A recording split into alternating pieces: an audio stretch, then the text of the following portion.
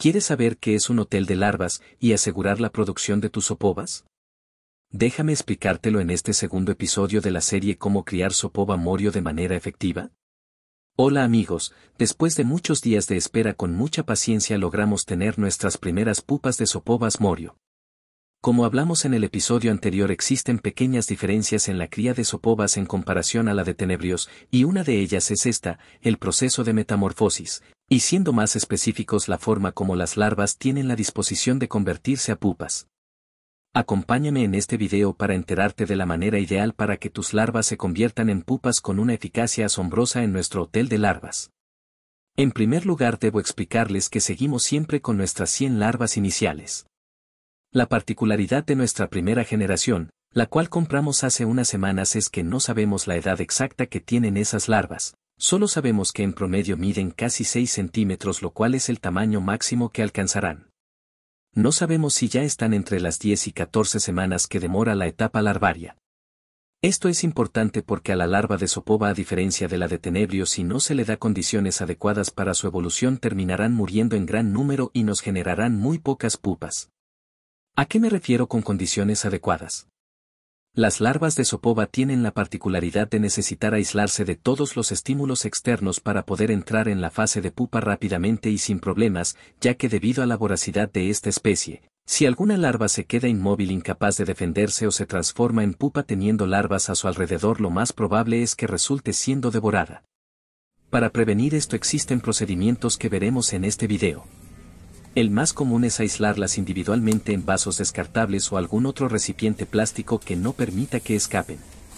Por ejemplo yo uso estos empaques de vasos de yogur que venden en las bodegas y me resultan muy útiles para este propósito. Pero en esta ocasión el hacer esto tiene un gran punto en contra.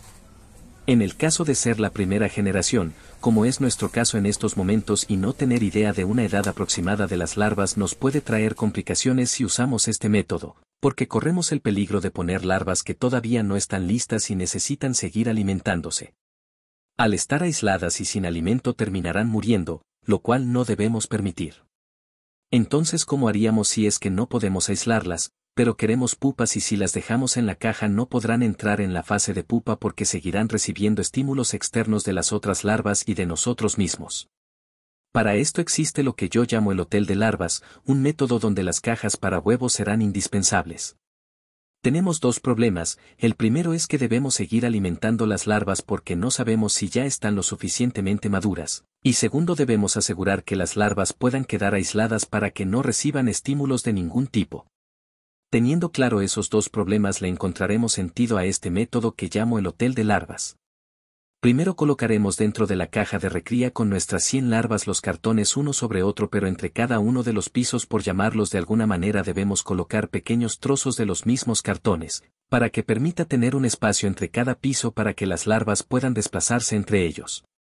La cantidad de pisos debe calcularse de forma proporcional al número de larvas que tenemos en la caja, si cada espacio de los cartones donde va un huevo lo llamamos habitáculo, debemos tener alrededor del 50% de habitáculos con respecto al número total de larvas en nuestro caso son 100 larvas así que 3 pisos serán suficientes por ahora, no hay problema si ponemos 4. 5 o 6 pisos, eso también dependerá de la altura de la caja que estemos usando para las opovas. Esto nos permitirá ampliar la superficie de tránsito de las larvas, es decir, ya no se estarán pasando una sobre otra al tener más espacio donde caminar. Dejarán lugares donde prácticamente no pasan, y estos lugares serán aprovechados por las larvas que ya están listas para entrar en la fase de pupa. Las que aún no están listas seguirán haciendo su vida normal enterrándose y alimentándose del sustrato.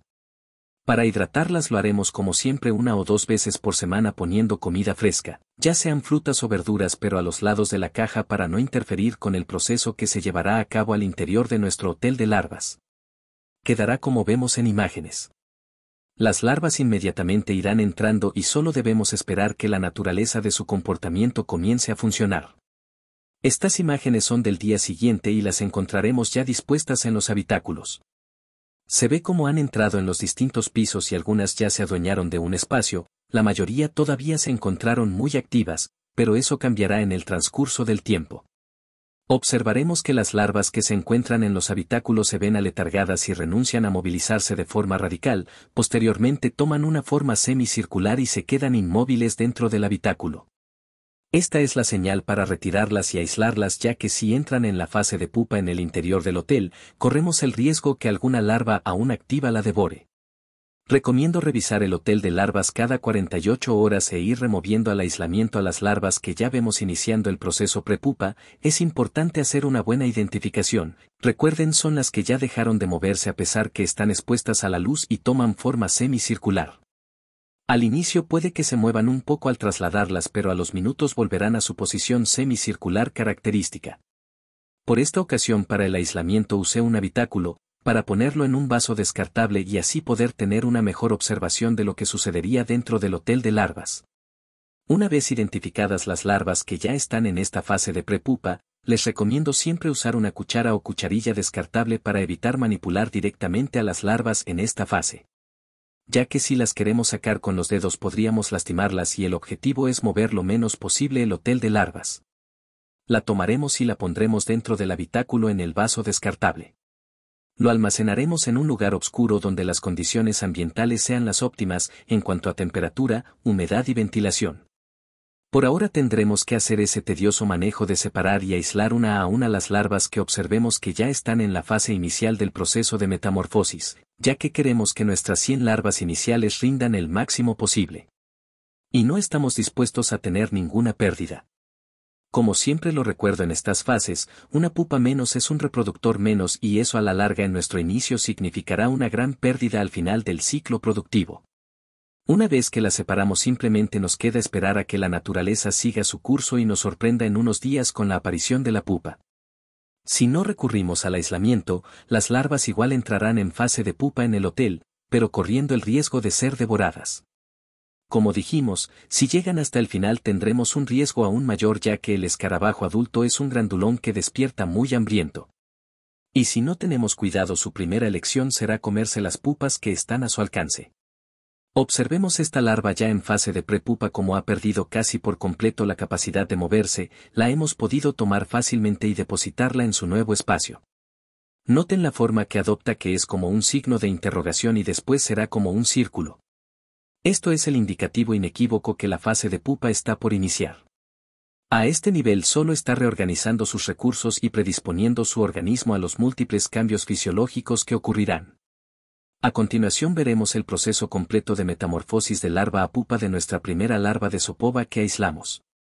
Tomó varios días de filmación pero aquí les muestro los primeros días en cámara rápida y la última parte de forma más detallada para que observen el proceso, ya que lo anterior es simplemente una larva moviéndose cada dos horas.